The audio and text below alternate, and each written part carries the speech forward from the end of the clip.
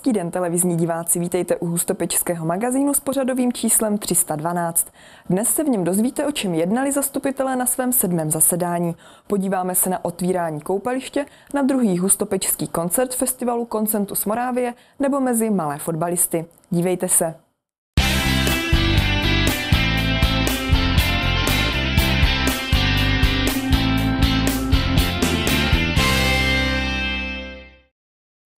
Převod městské nemocnice pod Jihomoravský kraj je definitivní. Zastupitelé schválili na svém sedmém zasedání všechny potřebné smlouvy a dohody. Úplně poslední krok je teď ale na zastupitelích Jihomoravského kraje. Ti budou dokumenty schvalovat 25. června. Na sedmém zasedání zastupitelstva se však také hlasovalo o vyhlášce zakazující ohňostroje na veřejných prostranstvích. Prošla a petardy jsou tak teď povolené pouze 30. dubna a 31. prosince.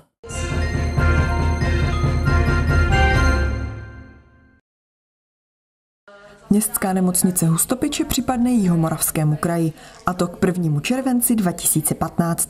Poslední kroky k převodu padly ve čtvrtek 18. června na sedmém zasedání zastupitelstva města. Zastupitelé schválili všechny smlouvy a dohody nutné k převodu zařízení. Stejné dokumenty teď ještě musí schválit zastupitelstvo kraje. Zasedat bude 25. června. Zástupci města schválili dohodu o převzetí závazků mezi ministerstvem financí, Jihomoravským krajem a městem Hustopeče. Právnička města Alena Fantová vysvětlila, proč je smlouva uzavírána mezi třemi stranami. Většina toho majetku, který je v areálu nemocnice, tak jsme dostali bezúplatně převodem v roce 2002 od Fondu národního majetku. Součástí toho těch závazků bylo i to, že tedy, že vlastně o každý nájem, o každou investici či o každou změnu se muselo žádat ministerstvo financí.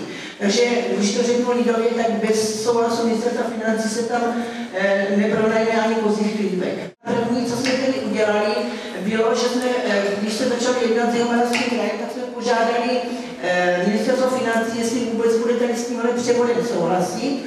Eh, to ministerstvo nám ten souhlas někdy v březnu dalo. Ve smlouvě je uvedeno, že Jihomoravský kraj musí zdravotní službu provozovat minimálně ve stejném rozsahu jako nyní, nebo že ministerstvo má předkupní právo. Tu zdravotní péči oni musí eh, provozovat eh, do toho zbytku toho, co jsme neodbydleli my, to znamená do 1. 5. 2027. Sankce pro Jihomoravský kraj za každé jednotlivé nedodržení smlouvy a každé porušení je milion korun.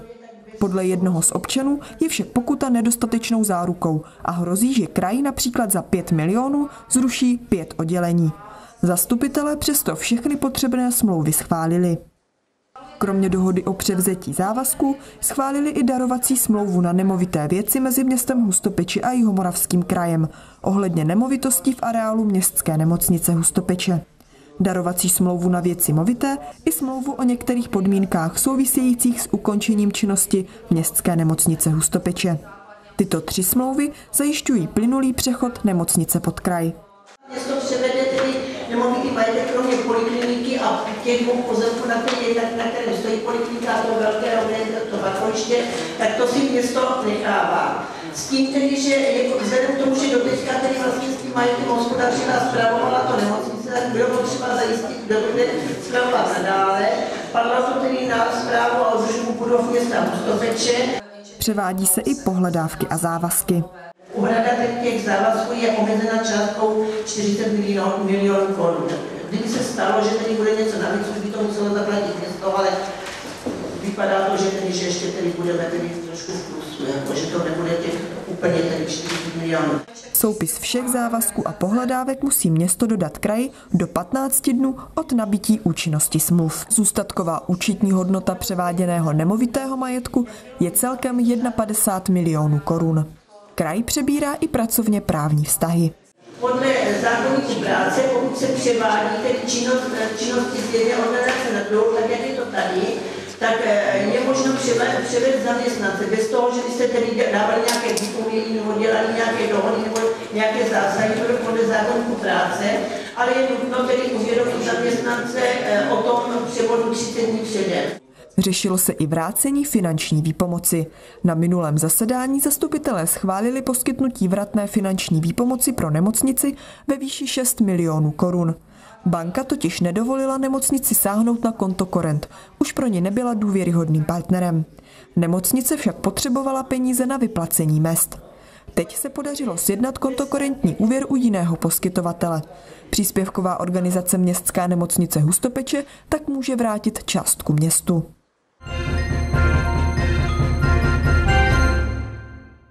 Starostka města také na sedmém zasedání zastupitelstva oficiálně sdělila, že jsou známi vítězové dvou výběrových řízení na posty vedoucích.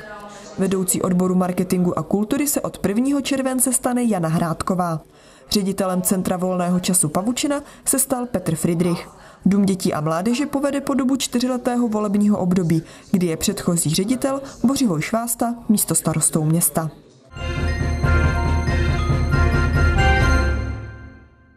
Ohňostroje na veřejných prostranstvích pouze na pálení čarodějnic 30. dubna od 18 do 22 hodin a na Silvestra 31. prosince od 18 hodin do 1 hodiny raní. O schválení výjimky pak mohou žádat pořadatelé akcí s ohňostroji 40 dní předem. O takové vyhlášce jednali zastupitelé. Rozbouřila živou diskuzi. Jak to vaši lidi budou vymáhat? Vaši naši, městští strážníci. Já si koupím na kejtle, protože budu šalský a jako půjdeme a zapálíme tam do separákem. A bude to za okolností v půl desáté a přijdu do policajtů, kteří ještě budou. Jo? A teď tam jako ta policie přijde a kdo to tady jako udělal? jsem se už chvíli podíval, ale nevím, ale my tady koneční. No, tak se ho běžte zeptat. Třeba Slaví Karolský. A všichni se zbalí a odejdou pryč. Kdyby zbydlel v centru, tak bys to pochopil. Je to složitý pro ty psy, pro ty děcka. Já tam vidím tu myšlenku spíš jako vědět, jo, když to někdo chce už dělat nevelký, že tam někdo vlastně na rozkách fakt koupil těch petard, fakt to asi nezjistíme. Může nastat také to, že co bude zakázáno, bude to mít vyhledáváno a jako být mladistvím, tak naopak mě to bude trošku budit. Jako může i toto nastat. Vyhláška nakonec byla 13 hlasy zastupitelů přijata. Dva se hlasování zdrželi, dva byli proti. Teploty přes 30 stupňů, pálící slunce, osvěžující voda, bohatý program a davy lidí. V neděli 14. června byla oficiálně zahájena sezóna letního koupaliště. Počasí slavnostnímu dní přálo. Pracovníci sportovního zařízení města jsou však letos připraveni i na studené léto. Trávník posetý dekami a ručníky, bazény plné lidí, zásoby zmrzliny a osvěžujícího pití připraveny. Slavnostní zahájení letní sezóny na hostopečském koupališti se vydařilo na jedničku.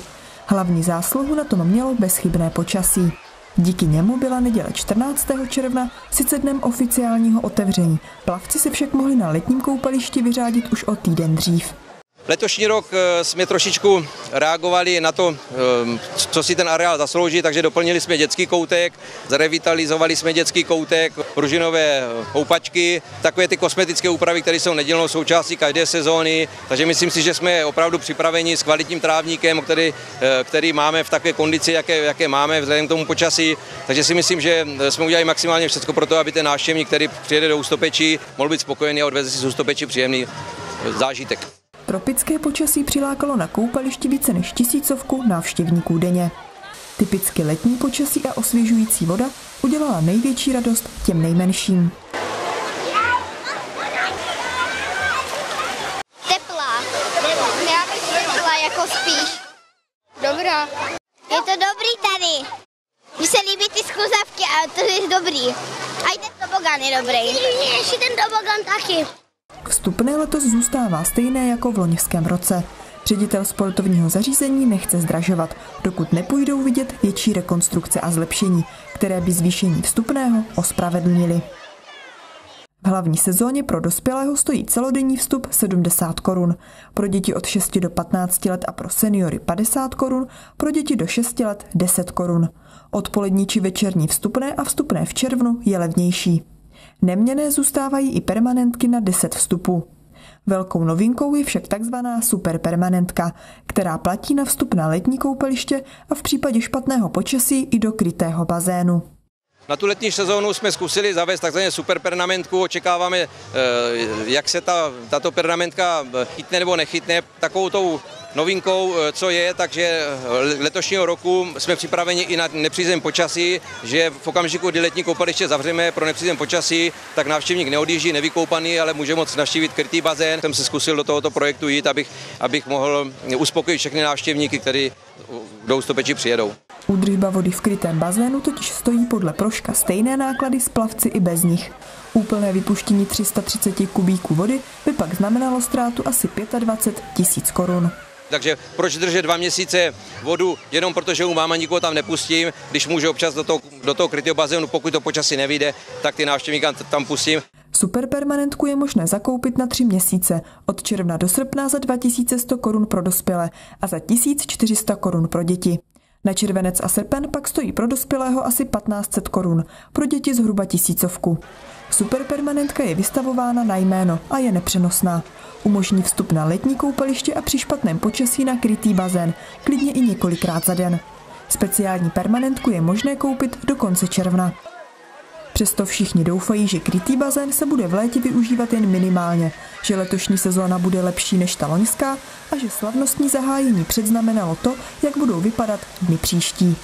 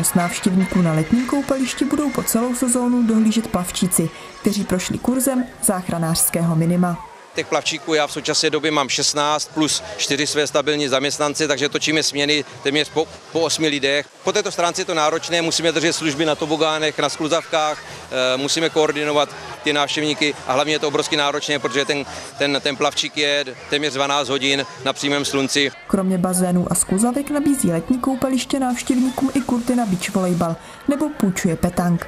Více informací na www.spozam.cz.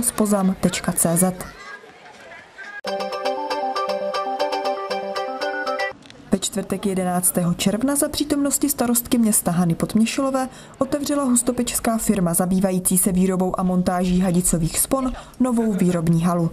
Pracovníci v ní vyrábí jednorázové silikonové sestavy, které se využívají do strojů na výrobu léčiv. Výrobky z hustopečí tak poputují do největších a nejlepších farmaceutických firm po celém světě. V nově otevřeném pracovišti se využívá nejmodernější technika, zajišťující stabilní teplotu, vlhkost, přetlak a čistotu vzduchu. Dodržovat se musí přísná hygienická opatření. To všechno je nutné k tomu, aby výrobky splňovaly kritéria dané zákazníky. Do budoucna by 150 metrů čtverečních čistého prostoru mohlo nabídnout až 15 nových pracovních míst.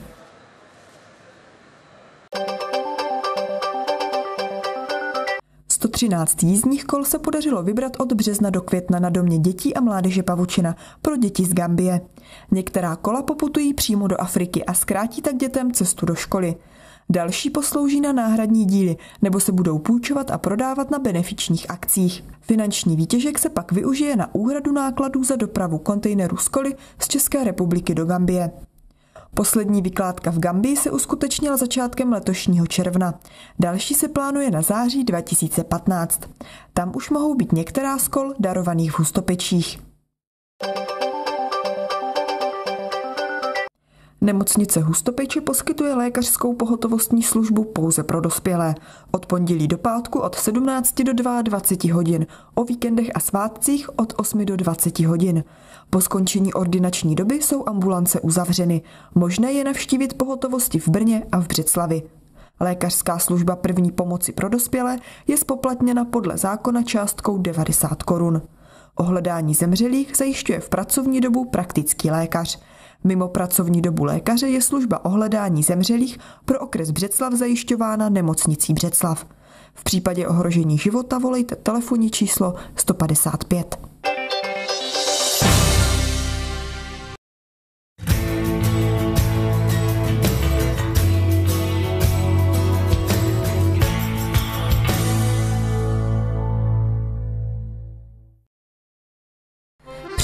přivítat prázdniny do areálu Domu dětí a mládeže Pavučina. Školská a kulturní komise města Hustopeče, Spolek všeho schopných a Centrum volného času Pavučina pořádají táborák na ukončení školního roku.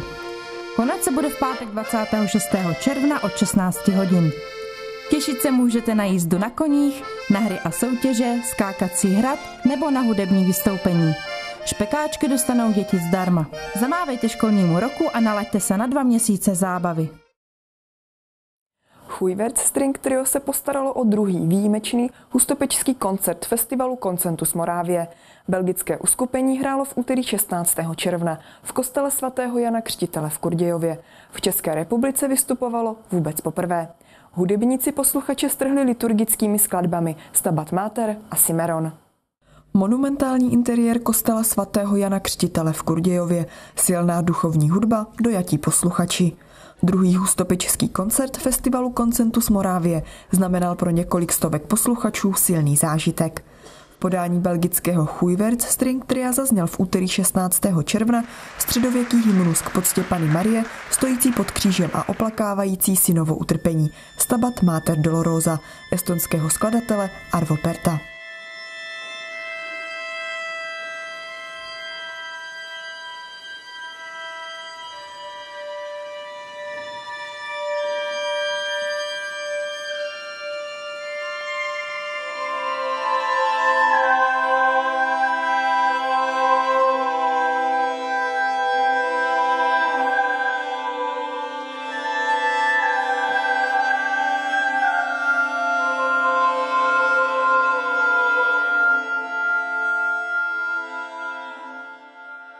Mrazení v zádech, e, jiskřičky v očích, představa toho, co musí prožívat maminky, které pochovají své děti a zkušenosti ze své 30-leté praxe učitelky hudební výchovy, kdy liturgická hudba typu Stabat Mater nebo Requiem vždycky i e, mladé dívky a mladé chlapce, přestože e, navenek působí velmi odvážně a třeba chladně, tak eh, když vysvětlíte, o jaký text se jedná, tak v ten moment eh, to vnímají úplně jinak. Vždycky dojala i ty mladé. Belgické trio za nahrávku Stabat Mater pozbíralo mnoho významných ocenění. As we always try to uh, make very um, uh, big analysis, analysis of um, Snažíme se dělat vždy poctivou um, analýzu díla. Jdeme do jeho hloubky. All the works we, we record. Uh, Arvo Pärt byl ale první skladatel, za jehož dílo jsme dostali spoustu cen, hlavně Edison Awards.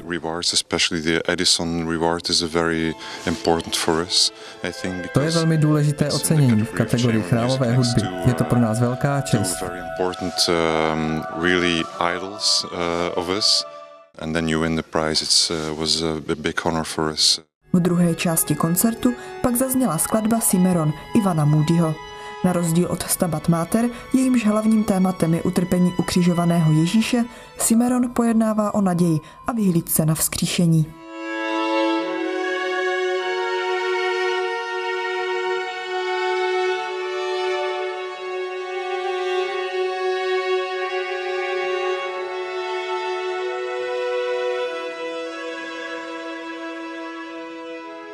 Chujverc String Trio vznikl už v roce 1997. Dodnes hraje ve stejném složení. Houslistka Christine Rules, violista Chris Matens a violončelista Peter Stas. Trio přijalo jméno významného belgického skladatele Karela Chujverce. We exist already 17 years and um, Existujeme už více než 17 let. Žijeme všichni v jednom městě. Jezdíme na zkoušky na kolech, je to velmi ekologické, což je v dnešní době důležité. We have uh, worked uh, with a lot of composers already like Gia Cancelli, Sofia Hrajeme práce mnoha skladatelů, snažíme se pracovat s žijícími autory. Máme ještě spoustu plánů. Trio doprovázela na koncertě v Kurdějově sopranistka Zuzi Todd, kontratenorista Barnabás Hegi a tenorista Olivier Berten. V České republice hrálo Hujverts trio úplně poprvé. We were very surprised that there, there are so many beautiful um, uh, places byli jsme velmi překvapení, kolik je tady krásných míst. Je to tady velmi tiché. To je pro nás zvláštní. Žijeme ve velmi rušné oblasti s hustou dopravou se zaneprázdněnými lidmi. Je skvělé hrát zvláště tento druh hudby v tomto mimořádném kostele. Festival Koncentus Morávie trvá až do 25. června. Na programu jsou ještě koncerty například ve Valticích, v Ivančicích nebo v Boskovicích. Více na www.koncentus-moravie.cz Sedm divů Islandu. S přednáškou o ostrově v severním Atlantiku přijel do Hustopečí v pondělí 15. června známý cestovatel Jiří Kolbaba. Posluchačům však odhalil divu stovky. Island totiž patří mezi jeho nejoblíbenější místa na planetě. Romantický a přitom dramatický, pekelný a přitom rajský, neskutečně barevný, čistý, úplně jiný svět. Tak popisuje Island známý cestovatel, fotograf a publicista Jiří Kolbaba. O divech ostrova v severním Atlantiku vyprávěl v hotelu Centro více než stovce posluchačů v pondělí 15. června. Do Hustopečí zavítal s přednáškou už po druhé. Poprvé jsme si představili celý svět a učili jsme se u toho trošku fotografovat. A teď představím moji druhou nejoblíbenější lokalitu na světě a to je Island. Takže na to se velmi těším a předpokládám, že mnoho lidí, kteří Island neviděli, nikdy nenavštívili, že úplně ustrnou, jak je Island krásný, jak je neskutečně barevný, jaké tvarové variace nabízí a já musím říct, že jsem Islandu propadl před mnoha lety a teď se tam vracím stále opakovaně. Dokonce letos, letošním roce dvakrát už jsem byl a jednou ještě pojedu. To znamená, třikrát za rok jedu na tento relativně malý, ale on je větší než Česká republika, ostrov, který je vzdálený od nás jenom čtyři hodiny letu a jsme v severním Atlantiku a jsme jakoby úplně v jiném světě. Jiří Kolbaba cestuje už více než dvě desítky let. Navštívil přes 130 zemí světa na všech šesti kontinentech. Mezi nimi je jeho favoritem Antarktida a hned po ní právě Island. Přednášku nazval Sedm divů Islandu. Na ostrově je však podle slov cestovatele divů mnohem víc, stovky. Třeba eh, hlavní město Reykjavík je nejčistší eh, město na světě z hlediska spadu, smogu, popílku. Ten nejšpinavější den v roce je 150 krát čistší než, než nejčistší den v Praze v tom roce třeba. První prezidentku světa dal Island světu, ukázal, že žena může vést zemi a vedla ji osvíceně. Je tady mnoho dalších unikátů, třeba čistota jazyka. Zkusme si představit, že mladí lidé čtou ságy staré 800-900 let a čtou je v původním jazyce, což už dneska tak až tak moc ve světě se s tím nemůžeme, nemůžeme potkat. Že? Takže opravdu těch nej je ještě mnoho. Třeba země s největším počtem vodopádů. Definitivně neznám jinou takovou, kde by bylo tolik vodopádů na malém území. Island procestoval autobusem, pěšky, na motorce, stopem i vlastním autem. A jako skvělou dovolenkovou destinaci by ostrov doporučil úplně každému. Rodinám s dětmi, baťuškářům i boháčům. A jednoznačně, ale jednoznačně můžu říct, že je úplně pro všechny. Kdo je teenager a cestuje s nízkým rozpočtem, s ruksakem na zádech, jakkoliv je to jedna z nejdražších zemí světa, tak se dá procestovat relativně levně. Dokonce letenky jsou někdy velmi levné, stojí kolem pěti tisíc korun, což si myslím, že je skvělé na to, že jsme v jiném světě a dá se tam bydlet kdekoliv ve stanu, úplně naprosto volně. Takže eh, backpacker, který nemá moc peněz na cestování, se tady opravdu si tady svoje užije. A potom ten, který má střední příjmy, tak také. A i ten, co má tu zlatou kartu v kapse, tak tomu zase nabízí skvělé hotely, naprosto skvělé služby a doplňkové služby ještě v, třeba v podobě různých cestovních aktivit a, a různých sportovních a dobrodružných aktivit. Takže absolutně každému, kdo ocení skvělou dynamickou přírodu a úplně nejvíc bych to asi doporučil lidem, kteří rádi chodí přírodou, kteří takzvaně trekují, tak toto je jedna z těch nejvyhlášenějších lokalit na světě. Nyní se však Jiří Kolbaba na místo k severnímu Atlantiku chystá do středozemí. Připravovat tam bude pořad o plavbách po planetě. Představí ho 29. července u Vltavy ve Žlutých lázních. Chci představit, jak se jezdí na různých lodích, různých velikostí, různé kvality v různých prostředích. To znamená, někdy je to loď rybáře, jindy je to třeba nějaká říční loď a pak je to třeba ledoborec na cestě do Antarktidy. Tak to všechno chci ukázat. No, jakmile se vrátím z této cesty, tak mě čeká velká cesta na severní pol eh, atomovým ledoborcem a potom zase lodí z Kanady na Aljašku. Mám toho nachystáno ještě do konce roku poměrně hodně a jsem rád, že to stále takhle ideálně funguje. Přivítejte léto v Hustopečích. Ve společnosti divadla, dobrého vína a cymbálové muziky. To vše v romantických kulisách nádvoří historického domu Usinků. Letní divadelní festival pod čirým nebem v sobě snoubí tu pravou letní pohodu. Těšit se od 3. do 17. července můžete například na divadelní spolek Frida, na divadelní agenturu Harlekin a mnohé další. Na divadelní prkne pod hvězdami letos zavítá Rudolf Hrušínský, Jana Švandová, Josef Cerda, Veronika Arichteva, Lukáš Lankmajer nebo Martin Trnavský. Hvězdným profesionálům budou konkurovat ochotníci ze Slavíčína a z Brna. Děti se mohou těšit na divadlo Koráb.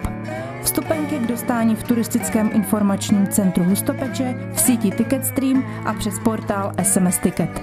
Předprodej začíná 1. června ceně je sklenka vína na uvítanou zdarma. Možné je zakoupit i zvýhodněnou pernamentku na všechna představení.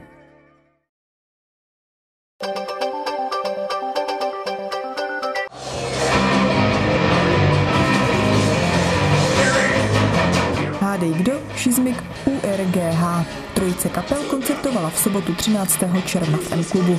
Potěšila hlavně milovníky tvrdé muziky, na které čekala barvitá směs punk rocku a metalu. Zpestřením pak byla ohňová show.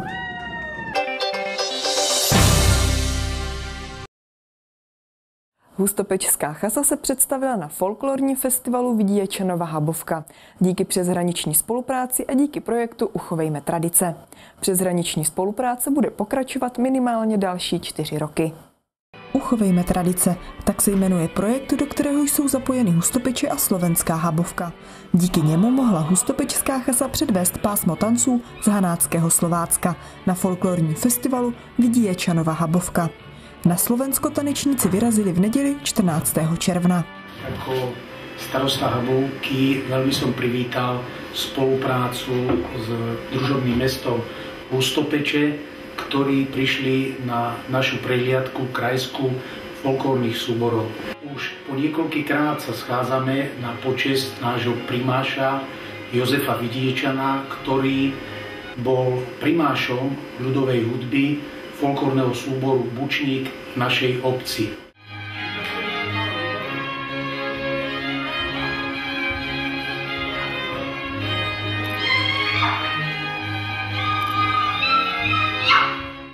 Rámci udržitelnosti projektu Uchovejme tradice eh, nejméně jednou za rok folklorní soubor z Habovky navštíví město Hustopeče a na oplátku jednou za rok eh, folklorní soubor z Hustopečí navštíví obec Habovka a takto by to mělo být následující ještě čtyři roky.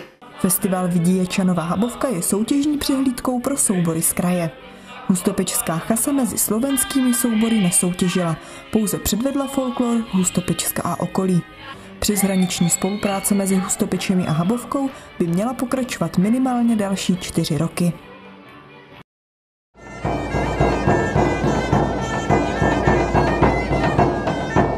Burčákové Mázhauzy, historický průvod, dvojnásobný držitel ceny Anděl Tomáš Kočko nebo koncert skupiny Mňága až Djorb. 21. ročník Burčákových slavností v Ústopečích se bude konat od 1. do 3. října. Nenechte si ujít nezapomenutelný zážitek s rodinnou atmosférou. Vstupenky v předprodeji k dostání v turistickém informačním centru Hustopeče, v síti Ticketstream nebo přes portál SMS Ticket. Do konce srpna je možnost zakoupit zvýhodněné vstupné na oba dva dny slavností za 100 korun.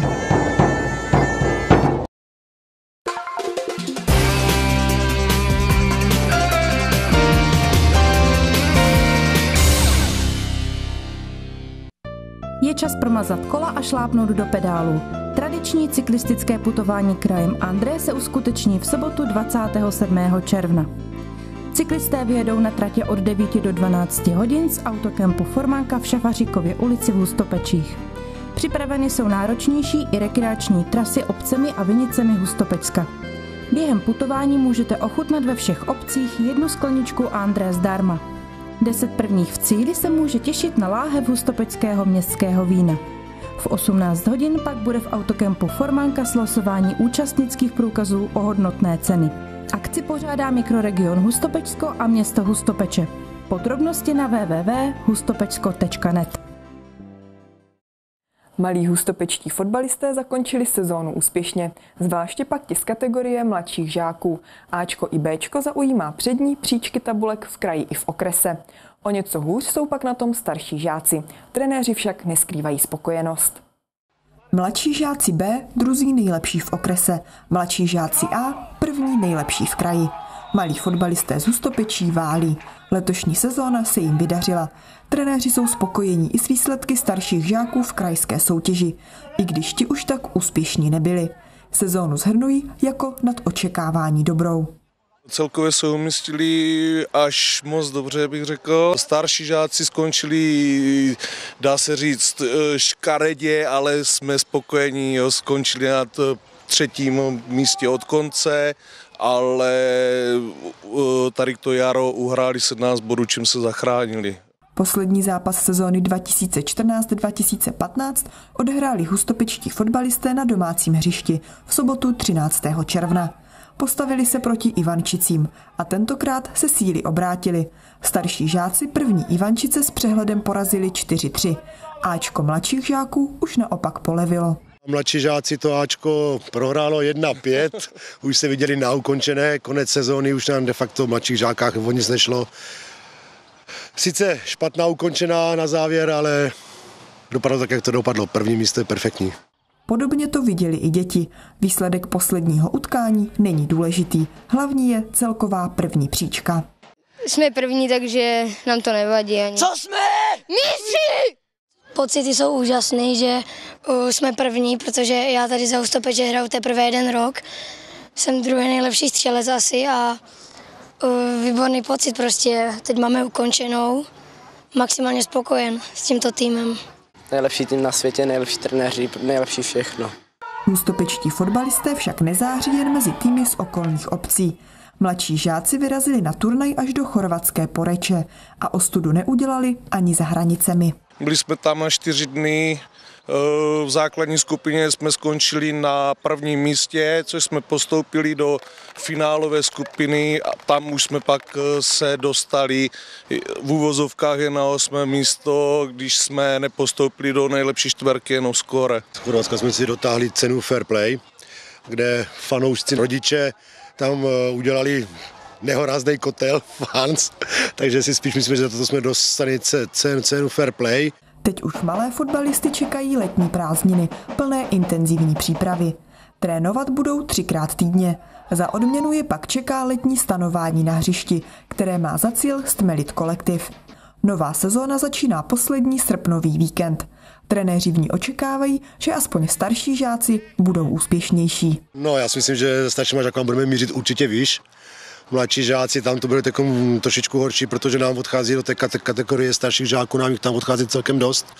Někteří odchází do, do Lišně, do Brna, někteří do Sparty Brno, takže tam bude nějaký to úmrtí, ale starší žáci budou určitě chtít být na lepším místě. Mladší žáci uvidíme. Hlavně bychom chtěli eh, poděkovat eh, za podporu rodičům, protože bez těch rodičů by to nešlo. Vlastně ty rodiče s náma jezdí eh, na venkovní zápasy, na domácí zápasy a jsou de facto v hojném počtu. Dá se říct, že máme ne, nejlepší fanouškovský klub tady na kraju. Hustopečský magazín je u konce. Připraveni s novým dílem budeme zase za týden. Těšit se můžete například na reportáž z relí mezi Vinicemi. Na viděnou.